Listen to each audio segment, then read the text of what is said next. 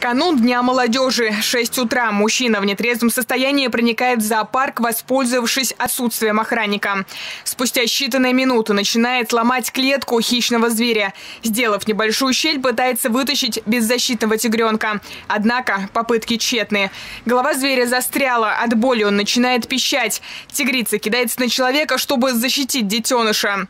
Услышал крик, выскочил на улицу, увидел возле клетки с тигром как бы человека, стоящего там тигр вцепился ему в зубы, ну, зубами в руку вцепился. Ну, а успели отбили тигра, он упал, начали оказывать ему медицинскую помощь. Человек проник сюда, ну, явно не погладить там тигренка или как что-либо, потому что он оторвал доску, он находился в перчатках, одну доску у него не получилось оторвать снизу. Тигренок висел один здесь, ну, вниз ногами.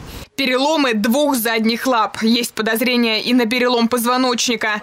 Теперь клетки с тигрицей опасаются подходить даже сотрудники. Животное стало агрессивным. Беззащитного котенка, который так доверчиво шел к людям, возможно, придется усыпить. Айнагуль Сятова ухаживает за тигрятами с самого рождения и не может говорить о происшествии без слез. Тигренок травмирован, я не знаю, здесь есть ли такие врачи, которые могут помочь. У нас есть врач, но он далеко. Сейчас он выезжает. И, как видите, у нас два тигренка сейчас отдельно лежат, а она вот именно с раненым тигренком лежит рядом, никого к нему не подпускает. Похититель был доставлен в больницу, где ему диагностирован перелом левой руки и обширная рваная рана плеча.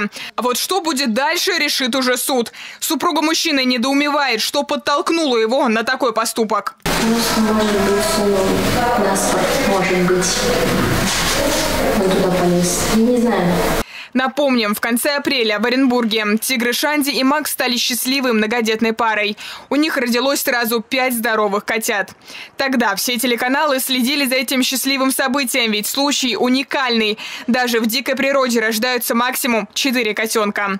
Сейчас жизнь одного из полосатых малышей висит на волоске. Анастасия Кубатка, Вероника Щеплыгина. Новости дня.